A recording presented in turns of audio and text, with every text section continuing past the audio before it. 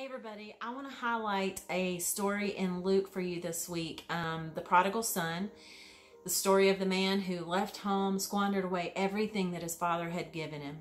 And a famine hits the land and he finds himself in a bad place. He can't get find food for himself and he realizes he cannot do it without his father. So he decides to go home and I'm going to pick up right here in the scripture where it says, But while he was still a long way off, his father saw him and was filled with compassion for him. He ran to his son, threw his arms around him, and kissed him. The son said to him, Father, I have sinned against heaven and against you. I'm no longer worthy to be called your son. But the father said to his servants, Quick, bring the best robe and put it on him. Put a ring on his finger and sandals on his feet. Bring the fattened calf and kill it, and let's have a feast and celebrate. There is so much we can take out of this one passage.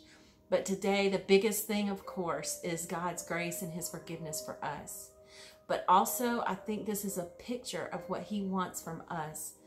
The way he wants us to be with our own children and our own family and friends. People will sometimes wrong us or make just bad decisions that we don't agree with. And sometimes we're really good at, at carrying our convictions, but we don't know how to carry them in the same hand that we carry our grace.